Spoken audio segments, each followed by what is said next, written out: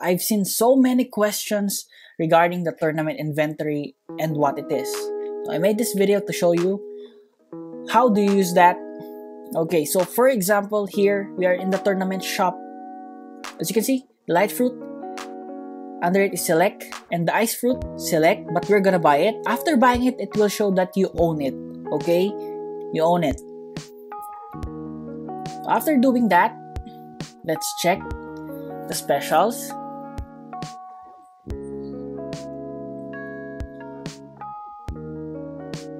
There go. We have the ice fruit here, right? After buying it, we have the ice fruit there and a Buddha fruit. Okay. We tried to equip it, but as you can see, I have a light fruit in my inventory. See that? So we're going to remove it. But guys, I have a light fruit, but it is indicated in the shop that it is not owned. Why? Because it is part of the update. So how do you put the fruit in the inventory?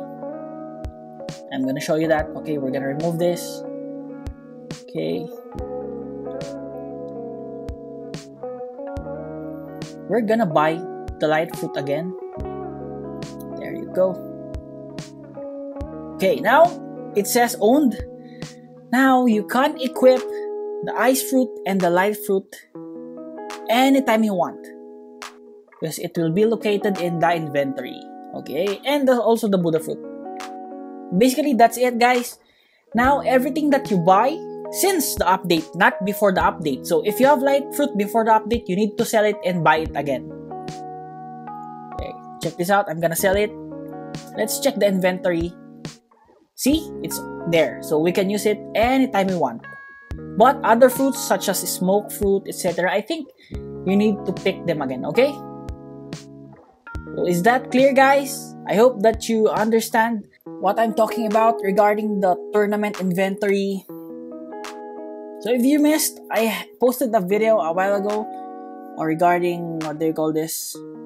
Uh, the ice fruit, showcasing it, how strong it is in the boss fights and in the tournament dimension. I suggest you watch it because it can one hit bosses as well as enemies in the tournament dimension. Okay? I'll just put the link on the upper right side of the screen or in the end screen. So that will be it guys. Again, I hope that you learned something from this short video. To all the followers, supporters, subscribers, I appreciate you all. This is Gamer Nom. Gamer Nom out.